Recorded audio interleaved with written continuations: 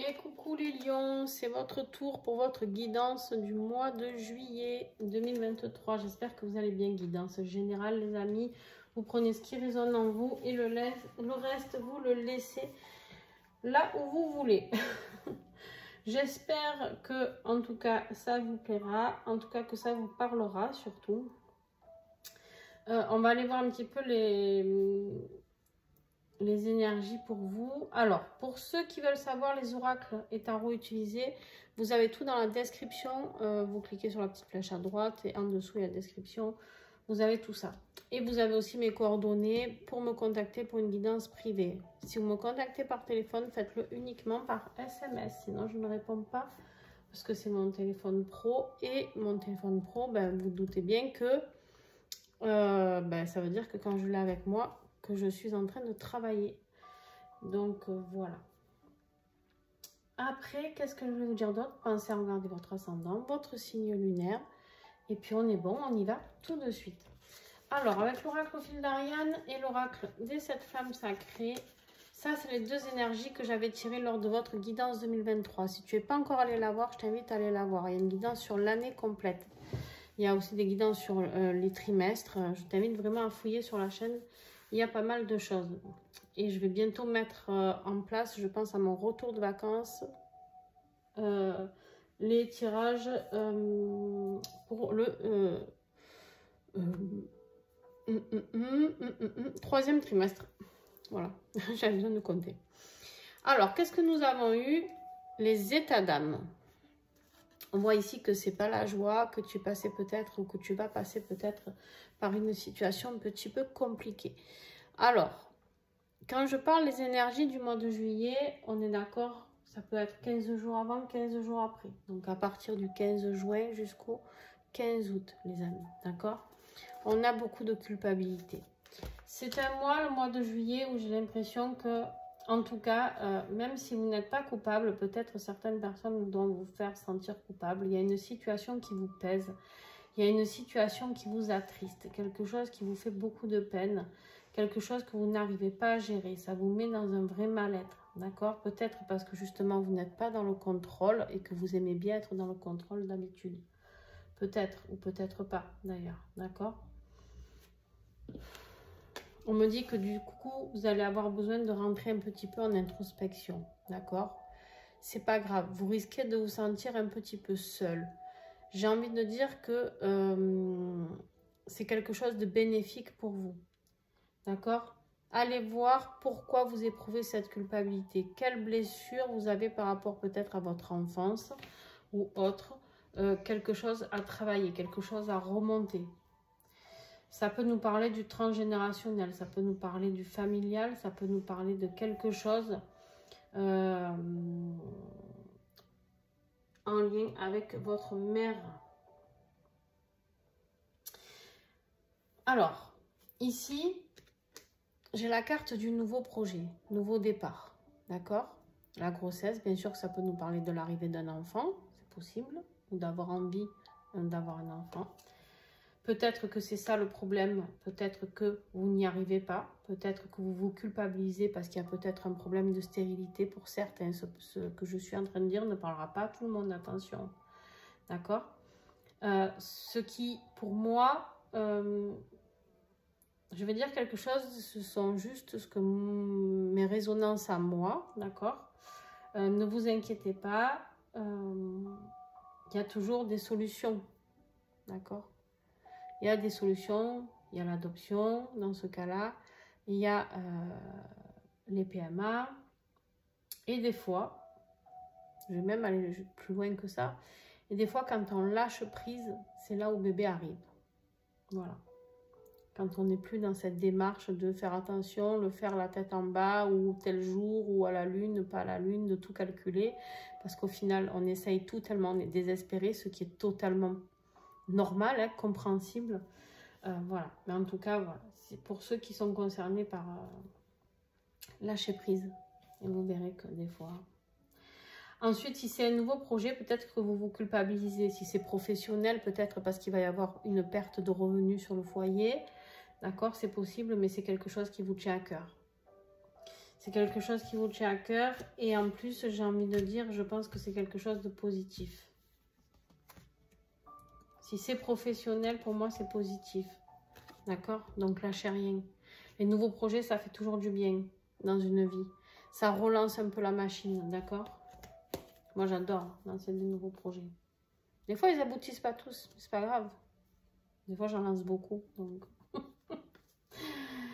le défi, ouais, je vois beaucoup de tristesse. Hein. On a la carte des états d'âme. Ici, on voit le deuil de quelque chose. Le deuil d'une situation, peut-être aussi. Euh,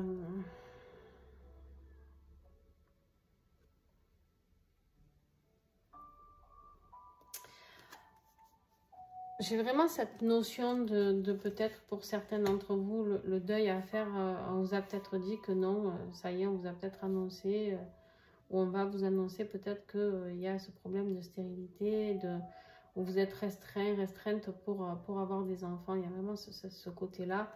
Et, euh, et pourtant, et pourtant euh, j'y crois pas vraiment. J'y crois pas vraiment. Alors, je suis pas là pour donner de faux espoirs aux personnes, mais en tout cas, euh, il y a quelque chose d'autre qui résonne pour moi par rapport à ça.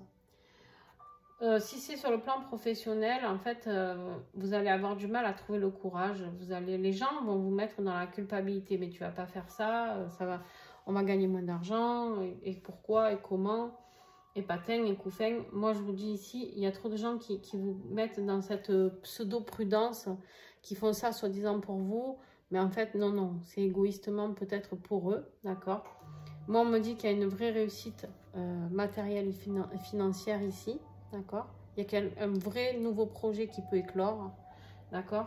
Donc, euh, écoute-toi. Si c'est un nouveau projet professionnel ou un nouveau projet sentimental, d'ailleurs, parce que j'ai pas parlé de ceux qui sont célibataires et tout ça, euh, c'est peut-être une relation sentimentale euh, qui va être bien aussi pour toi, d'accord? Et peut-être qu'il y a des gens qui te font culpabiliser, ça peut être ta famille, ça peut être parce qu'il est peut-être pas assez bien ou elle est pas assez bien, etc., etc. D'accord? Ce qui va t'aider, ben, il y a un choix à faire. Un choix à faire dans la matière. Là, c'est un choix à faire euh, et que tu dois quelque chose de palpable, d'accord? C'est quelque chose euh, qui va prendre une vraie décision. C'est quelque chose qui... C'est pas quelque chose que tu vas juste penser. Ici, on te dit de prendre une décision qui va acter les choses. On a la carte de l'automne. La carte de l'automne, c'est la fin de quelque chose. Alors, peut-être la fin des états d'âme, la fin de la culpabilité, d'accord? Ça peut être la fin dans un couple. C'est peut-être pour ça aussi que tu t'en veux. Peut-être... Euh, parce qu'il y a eu euh, un problème dans le couple et que du coup tu n'as pas mené euh, ce projet à bien, cette vie à deux, c'est peut-être peut-être aussi encore en rapport avec cette grossesse qui n'a pas eu lieu, il peut y avoir tellement de choses, d'accord, mais en tout cas, il y a quelque chose euh, qui doit cesser. Ici, on a l'arbre qui perd ses feuilles, et ben vous c'est pareil, hein. on vous demande de vous dévêtir de quelque chose ici. On peut me parler aussi du signe balance, Scorpion, euh, Vierge, non, Vierge, Balance, Scorpion aussi, d'accord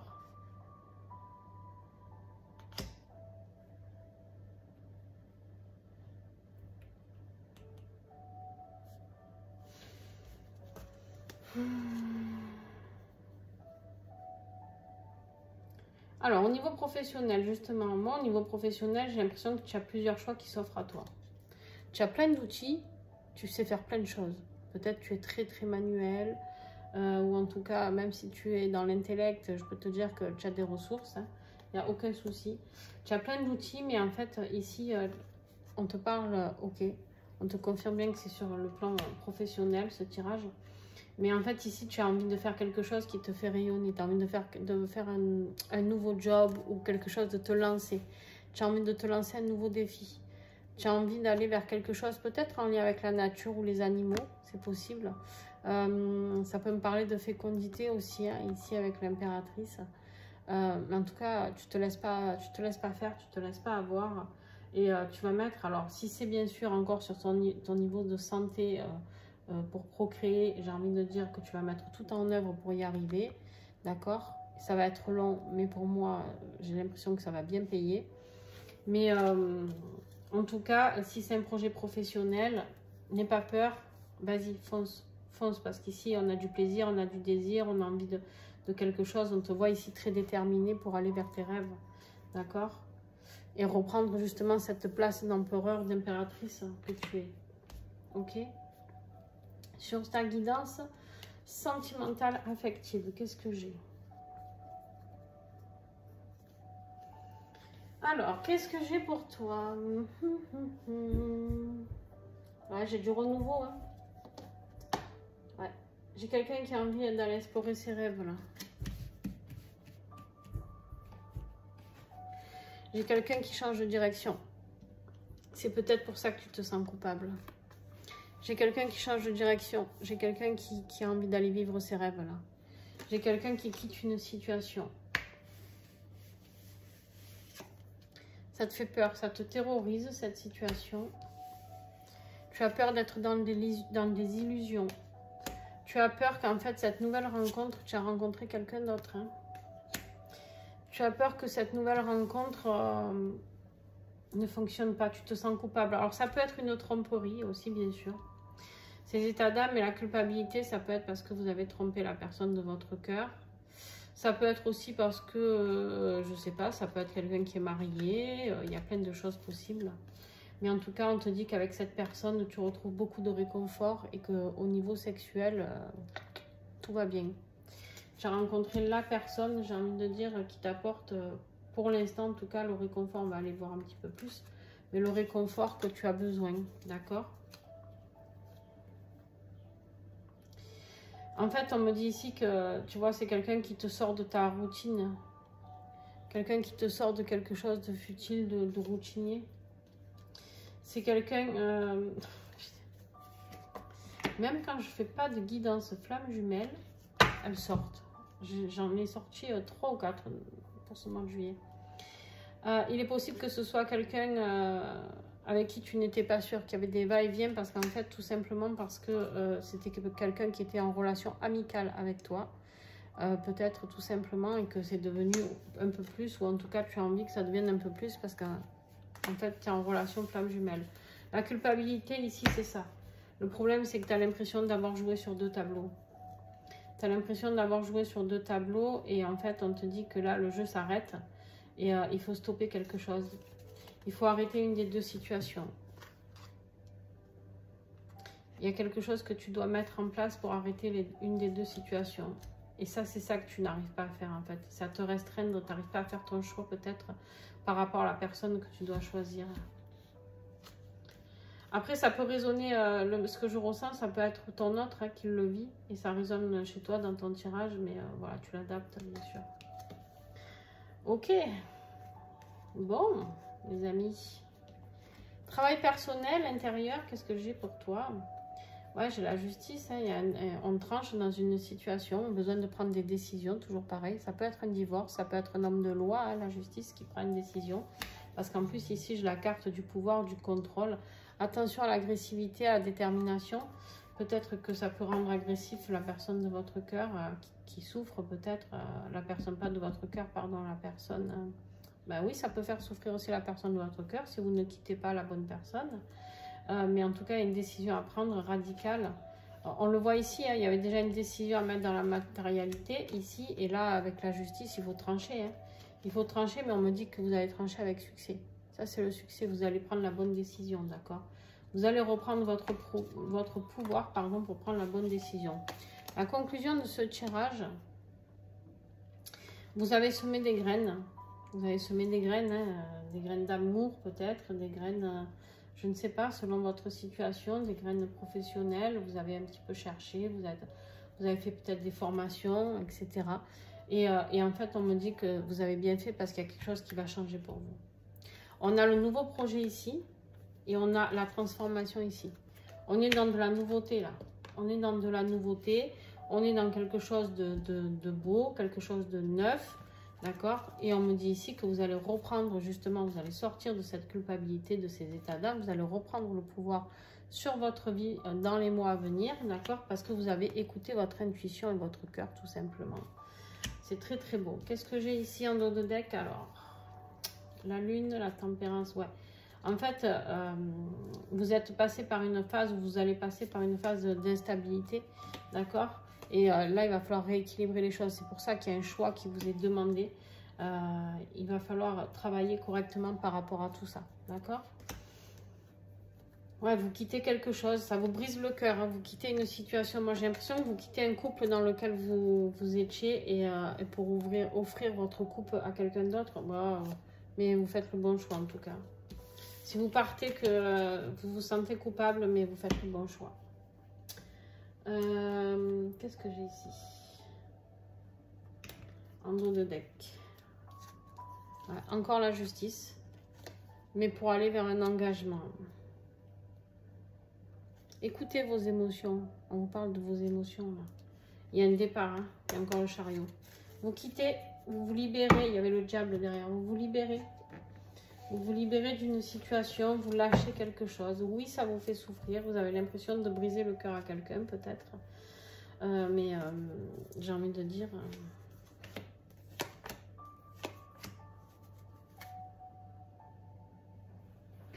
j'ai pas mélangé celui-là. Ben si, pourtant. Et si, pourtant... Hein. Bon, on voit bien ici qu'il y a une relation triangulaire. Hein. Hop là, hop. Tu vois qu'il y a trois personnes là? Une relation triangulaire. On voit bien qu'il y a eu euh, du sexe. Hein. Il y a eu une tromperie. Euh, et ça brise le cœur euh, d'une des personnes. Peut-être vous, peut-être la personne avec qui vous vivez. C'est quelque chose qui, qui procure un stress énorme. On a la carte du stress ici. On a la création et la fécondité. Alors, est-ce qu'il y a une grossesse qui arrive? C'est peut-être ça aussi. Vous vous sentez coupable peut-être par rapport à une grossesse qui arrive.